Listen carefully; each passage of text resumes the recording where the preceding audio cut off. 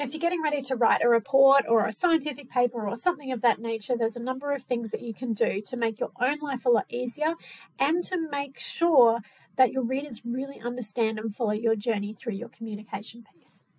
So, what I've started with here are the general sections that you might have for a scientific report title, abstract, keywords, intro, methods, results, discussion, conclusion, and references. So, a really good way before you get writing is to get this set up, and that will make your life super easy as you continue on. All right, so from top to bottom, let's go first of all with the title super important to have a really catchy title. So one of the things that that I work on is is thinking about what is going to be the title that is going to grab the attention of of your readers and also be memorable. So what we're working on here usually is the key message of your paper. It might be a question, it might be a how to, or it might also be a result. Now, one of the things that, that I find super helpful when I'm creating titles for, for anything that I write is to use a headline analyzer like this one here. This one is free. There is a paid version, but I just use the free one. So I recommend trying this one out and seeing how you go with your headlines and trying try to try to make them something that will really entice your, your readers to read your work. Don't feel that you need to write the title at the very beginning. Often this is something that comes at the end. Have seven suggestions for titles, pass them around your colleagues, friends, teammates, and then come up with the one that's going that resonates the most and is going to work the best. Abstract, also something that you do at the end. Keywords I want to talk about because this is something that's often neglected but is super, super important. So the keywords are things that will actually get indexed by search engines. So when you go search for Google and you want people to see your paper or your communication piece, these keywords are really important. So you need to repeat some of the keywords that you're using here.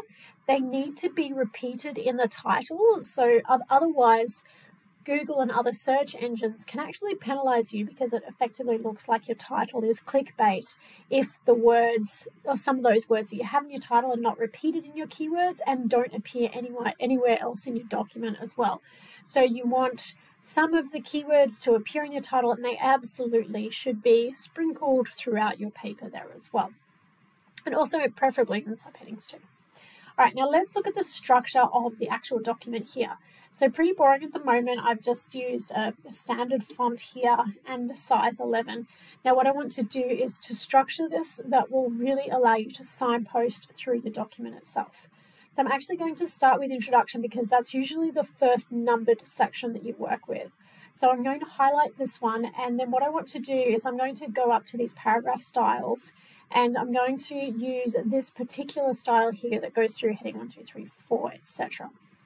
So I now see that this is number one and intro. This is a lot bigger than what I want it to be, so I'm going to change that. I'm just going to drop all the way back down to my 11. I'm kind of happy with 11, but I do want it bold and I don't want this blue color, so I'm going to go back to black.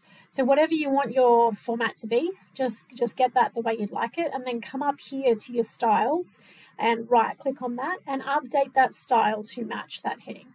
So you'll see we've got that one there now. Now I'm going to do the same to methods. I'm going to apply heading one to each of these sections.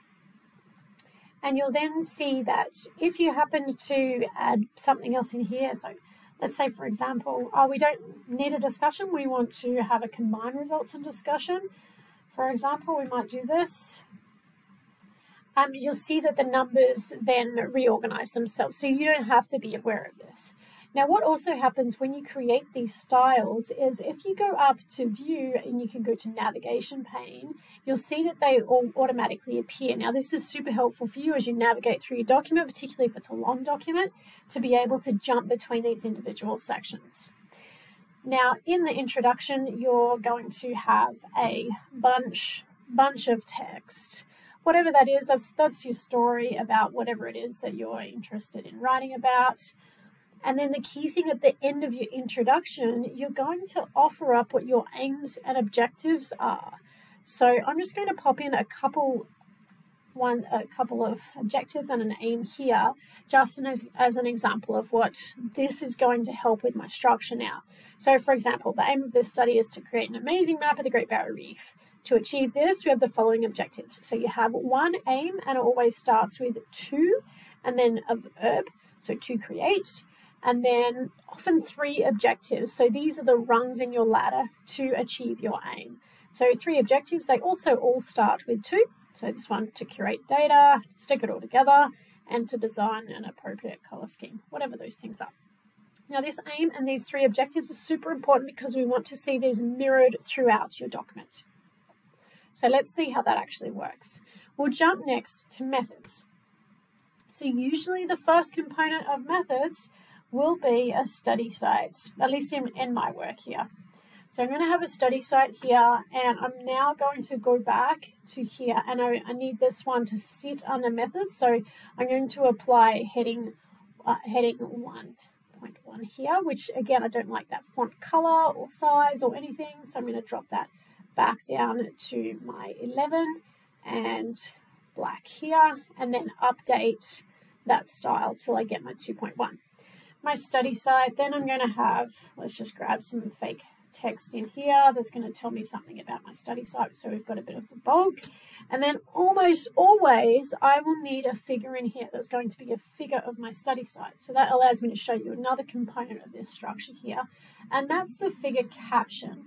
So at this point, I don't even know what that figure looks like, but I'm still setting up my document to, to prepare me for success as I continue to fill this with the content.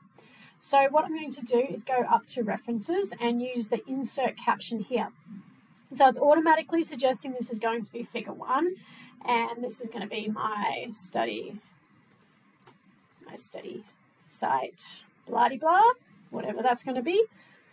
And I'm going to allow it to just be labeled figure, etc. So looking like that, I can again change the format of this to make sure that it's the right color, style, etc. I'm going to leave that for the moment though. But so now what you've seen is that I've inserted this, this figure and you'll see that it's auto numbered. Now this is really important because at the end of this sentence that I've got here, I want to cross-reference this. So you always want to make sure that when you've got a figure, it's cited in the preceding paragraph immediately. So I'm going to put double brackets in there and I'm going to go up to references and use the cross reference button here. And as as I do that, it's it's asking me what do I want to cross reference and I'm going to cross reference a figure here. I don't want the entire caption, I just want the label and number and I'm going to insert that there. Now, why this process is super important is because now if I realize, oh, actually I was going to have a I needed to have a figure in this place. So this, this spot here is automatically realizing that it's figure one, which means that becomes figure two.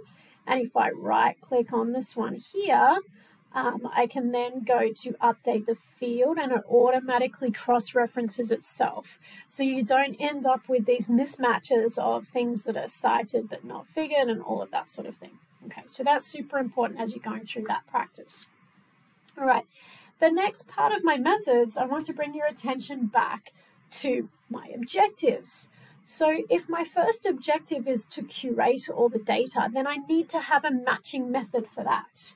So what I'm going to do here is to have my next subheading. So it might be called curating data, for example. And again, I don't even know what content I'm going to have in that just yet, but if I come over here, I know that it's a heading two it pops up there. It automatically numbers at 2.2, which is under the 2.1 and under section 2. So I know I'm going to have that. Then I know that I must have sticking it all together. So my next one will be sticking together. And my final method is designing a color scheme.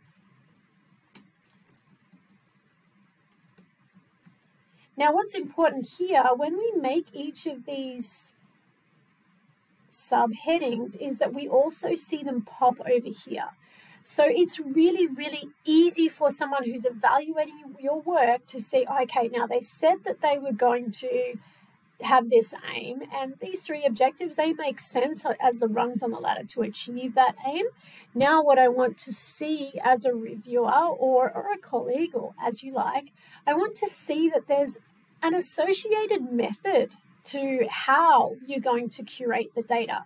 So if it says to curate the data here, I jump over to methods and oh, look, there's a section that tells me all about how that's going to happen. The objectives is to stick it all together. How does that happen? Oh, there must be an associated method.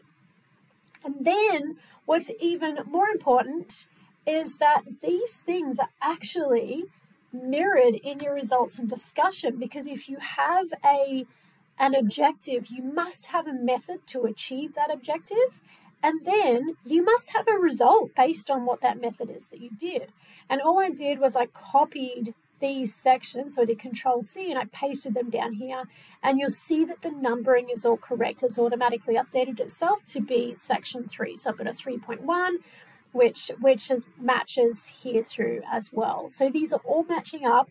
And as someone who's reading your paper, can then really understand what you were trying to do, how you were trying to do it, and what the result was. And then they'll feel more that your work is more trustworthy because you've done what you said that you were going to do. So this is just a really, really simple way that you can structure this document before you even have any content at all. So you can basically see that I've written the first 189 words of this particular document, whatever this paper is, and I haven't actually even done any work, but I've set myself up for success and then making sure that it's all structured well and it's really easy for me to continue to navigate and work through my own work as much as it is for my readers to be able to do that as well.